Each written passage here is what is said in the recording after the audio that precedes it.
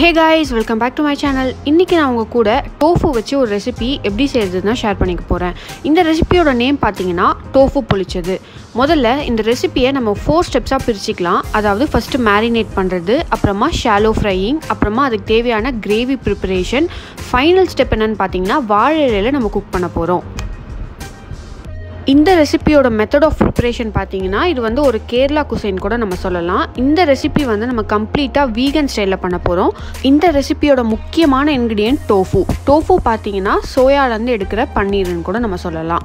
இப்போ நம்ம marination start பண்ணிடலாம். அதுக்கு நான் வந்து chilli powder one tablespoon cornflour one tablespoon salt தேவையான அளவுக்கு coconut oil one tablespoon add பண்ணியிருக்கேன். இப்போ நம்ம வந்து இதை கம்ப்ளீட்டாக ஒரு மிக்ஸ் பண்ண போகிறோம் மிக்ஸ் பண்ணிவிட்டு கொஞ்சம் திக் பேஸ்ட்டாக நம்ம வந்து மிக்ஸ் பண்ணி வச்சுக்கலாம். தேவையான அளவுக்கு வாட்டர் ஆட் பண்ணிக்கோங்க.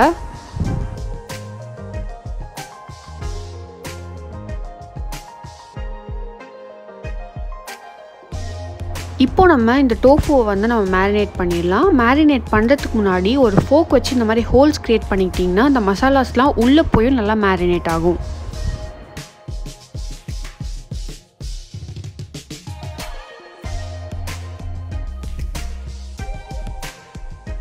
நம்ம வந்து கம்ப்ளீட் டோஃபுவையும் நம்ம மேரினேட் பண்ண போகிறோம்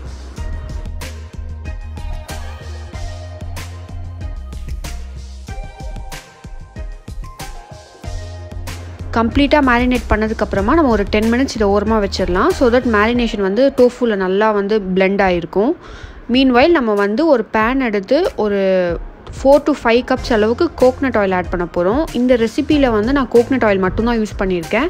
நீங்களும் கோக்னட் ஆயில் ஆட் பண்ணிங்கன்னா ஃப்ளேவர் இன்னும் கொடுக்கும். ஆயில் ஹீட் ஆனதுக்கப்புறமா நம்ம மேரினேட் பண்ணி வச்சுருக்க டோஃபுவை இதில் ஆட் பண்ணிடலாம்.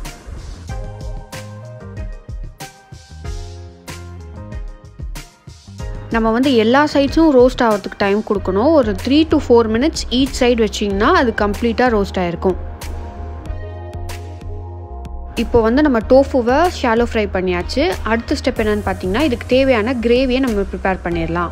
இந்த கிரேவிக்கு பார்த்தீங்கன்னா இதே பேனில் எக்ஸஸ் ஆயில் எடுத்துகிட்டு ஒரு three to four tablespoon அளவுக்கு ஆயில் இருக்க மாதிரி வச்சுட்டு சின்ன வெங்காயம் ஒரு ஃபைவ் டு சிக்ஸ் வந்து நான் சாப் பண்ணி ஆட் பண்ணியிருக்கேன். கறி லீஃப் ஒரு நாலு டு அஞ்சு லீவ்ஸ் ஆட் பண்ணியிருக்கேன்.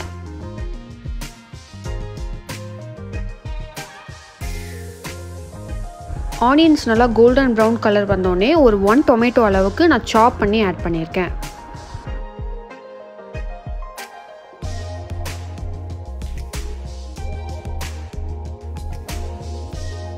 வெஜிடபிள்ஸ் நல்லா குக் ஆனதுக்கப்புறமா இதுக்கு தேவையான மசாலாஸ் ஆட் பண்ணிடலாம். சில்லி பவுடர் ஒரு ஒன் டேபிள் ஸ்பூன் ஆட் பண்ணியிருக்கேன். சால்ட் தேவையான அளவுக்கு ஆட் பண்ணிக்கோங்க. இப்போ பார்த்தீங்கன்னா நான் ஒரு ஒன் டேபிள் ஸ்பூன் அளவுக்கு ஜிஞ்சர் கார்லிக் பேஸ்ட் ஆட் பண்ணியிருக்கேன். மசாலாஸோட ரா ஸ்மெல் போனதுக்கப்புறமா ஒரு ஹாஃப் கப் அளவுக்கு வாட்டர் ஆட் பண்ணியிருக்கேன். இந்த ஸ்டெப் எதுக்குன்னு பார்த்தீங்கன்னா ஸோ தட் இது வந்து கொஞ்சம் கிரேவி கன்சிஸ்டன்சியாக வரணுன்ட்டு வாட்டர் நல்லா வந்து சுண்டனதுக்கப்புறமா ஒரு ஹாஃப் கப் அளவுக்கு நம்ம வந்து கோக்னட் மில்க் ஆட் பண்ண போகிறோம்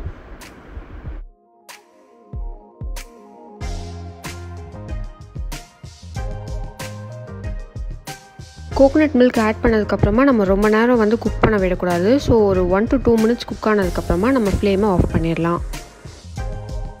இப்போ நம்ம ரோஸ்ட் பண்ணி வச்சுருக்க டோஃபு மேலே மேரினேட் பண்ணுறதுக்கான கிரேவியை நம்ம ரெடி பண்ணிட்டோம்.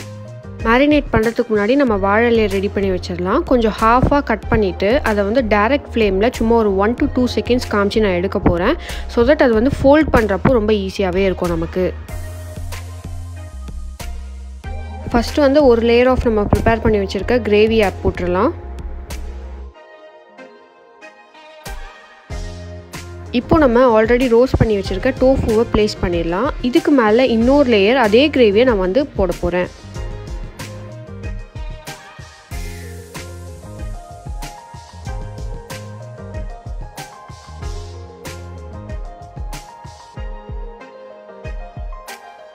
இப்போ நம்ம இதை குக் பண்ணிடலாம். குக் பண்ணுறதுக்கு முன்னாடி இதை வந்து டைட்டாக நம்ம வந்து கட்ட போகிறோம்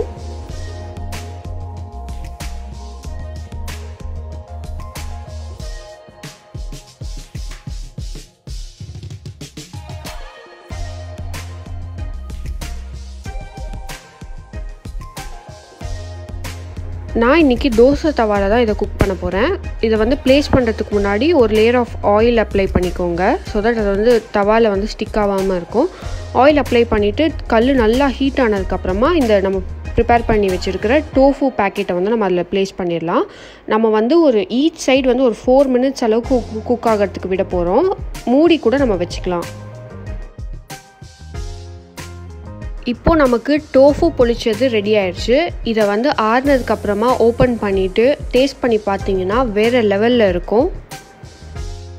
இது சர்வ் பண்ணுறதுக்கு முன்னாடி கார்னிஷிங்க்கு சாப்டு கோரியண்டர் சாப்டு ஆனியன் லெமன் ஸ்லைஸ் இதெல்லாம் வச்சு சர்வ் பண்ணிங்கன்னா இன்னுமே டேஸ்டியாக இருக்கும். ரொம்பவே டேஸ்டியான வீகன் ஸ்டைலில் ஒரு கேரளா ரெசிபி தான் நான் இன்றைக்கி உங்கள் கூட ஷேர் பண்ணியிருக்கேன். இந்த ரெசிபி உங்களுக்கும் கண்டிப்பாக பிடிச்சிருக்கும்னு நினைக்கிறேன். பிடிச்சிருந்தா நீங்களும் உங்கள் வீட்டில் ட்ரை பண்ணிவிட்டு உங்கள் கமெண்ட்ஸை மறக்காமல் ஃபீட்பேக் செக்ஷனில் சொல்லிவிடுங்க